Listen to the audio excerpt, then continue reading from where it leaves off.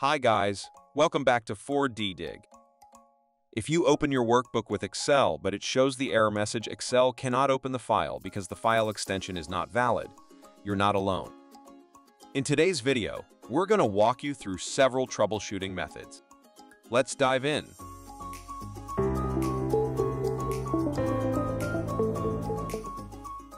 If you receive the Excel file from some other user, you could check the permissions first. Right-click the Excel file and click Properties. Go to Security tab. Hit Edit button. It will open Permissions dialog. Click Add. Click Advance. Press Find Now button.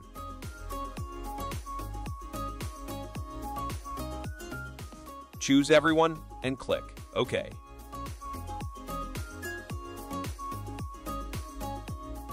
Select Everyone form groups or usernames.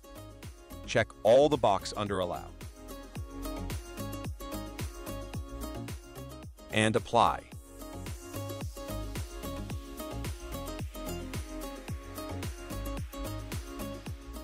Sometimes Excel cannot open the file error is caused by corruption, and you can use the inbuilt open and repair feature to fix it.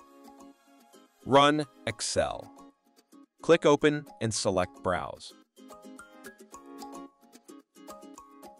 Select the file you want to open.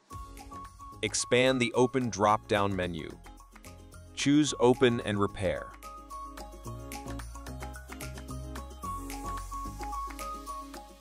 See if your file got repaired. If not, try a professional file repair tool to fix your Excel. 4DDiG File Repair is one of the best document repair tool in the market, and you can get it from the link below. Run it on your computer. Select File Repair. Add your corrupted file. Click Start Repair. You will get repaired document.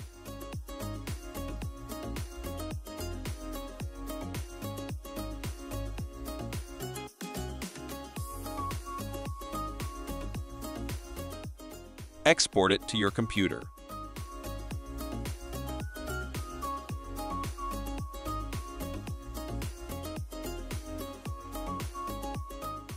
If you enabled file history, try to revert to a previous version could also solve the problem. Locate the file. Right-click it and select Restore Previous Version. Choose the latest one and click Restore.